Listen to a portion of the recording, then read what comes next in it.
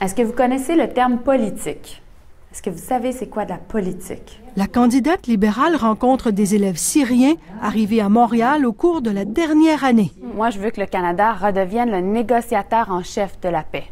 L'automne dernier, cette école arménienne accueillait 18 jeunes ayant fui la guerre.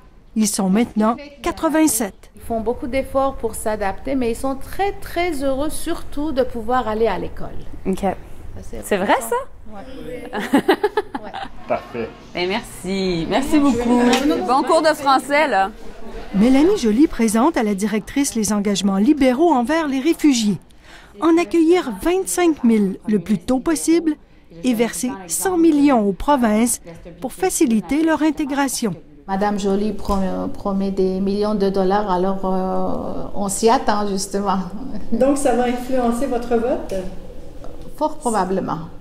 Dans Hansik, quartier-ville, 60% des habitants sont nés à l'étranger ou ont au moins un parent né à l'extérieur. Beaucoup d'Haïtiens, d'Algériens et d'Arabes du Moyen-Orient. Nous autres, les Libanais, on vote pour les libéraux.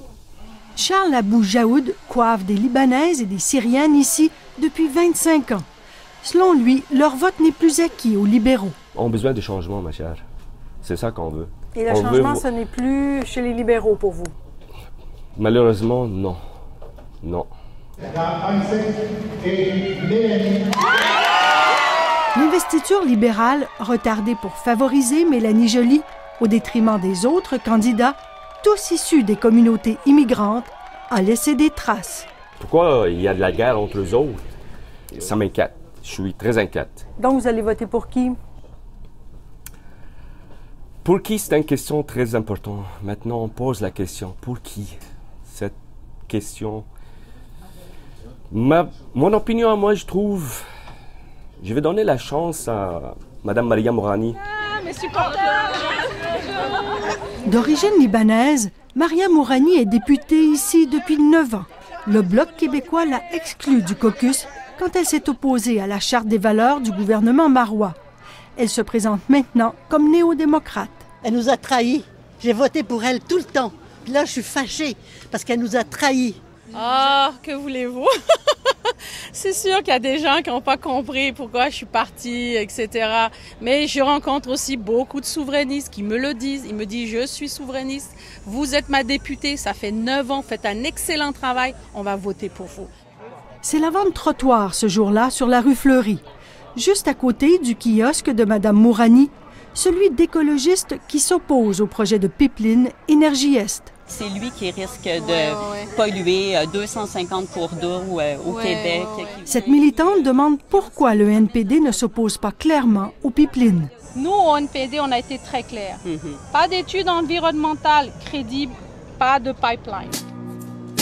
Un peu plus loin, sur la rue Fleury, le candidat du Bloc québécois échange avec un Haïtien qui lui pose des questions sur l'indépendance du Québec. Comment vous comptez pour vendre ce projet à des gens euh, comme nous, des nouveaux arrivants? On veut voir rayonner le Québec à l'international, mais là, justement, on ne détient pas ces moyens-là. C'est le dernier mandat à Harper, là, le ministre des Relations internationales en ce moment, il est unilingue anglais. Et que dit-il aux souverainistes qui pourraient bouder le bloc dans le but de défaire le gouvernement Harper? N'élisez pas des, euh, des députés fédéralistes. C'est sûr qu'ils vont se battre contre s'il y a un référendum éve- éventuellement. Si c'est le MPD, il est, beaucoup en va avoir. Ce souverainiste est tenté par les néo-démocrates, mais il juge que les engagements de Thomas Mulcair demeurent trop flous. La plupart des candidats n'ont pas encore dit comment ils comptent créer des emplois dans le comté, ni combien. Le chômage ici dépasse 11 Il n'y a eu aucun investissement, aucun emploi créé dans le quartier-ville depuis neuf ans. Et en ce sens-là, moi, je suis très critique du legs de euh, la députée en place. Euh, désolée, euh, c'est pas vrai. si je prends par exemple la section euh, qu'elle parle, Chabanel, là, euh, si on prend de- avec des, juste avec le programme Développement économique Canada, là, on a développé entre 2011 et 2013 là, 1000 au-dessus de 1000 emplois. Maria Mourani a été élue trois fois avec de faibles majorités. Elle s'attend à une autre lutte très serrée et se prépare à se coucher très tard, le 19 octobre. Ici Sophie Langlois, Radio-Canada, Montréal.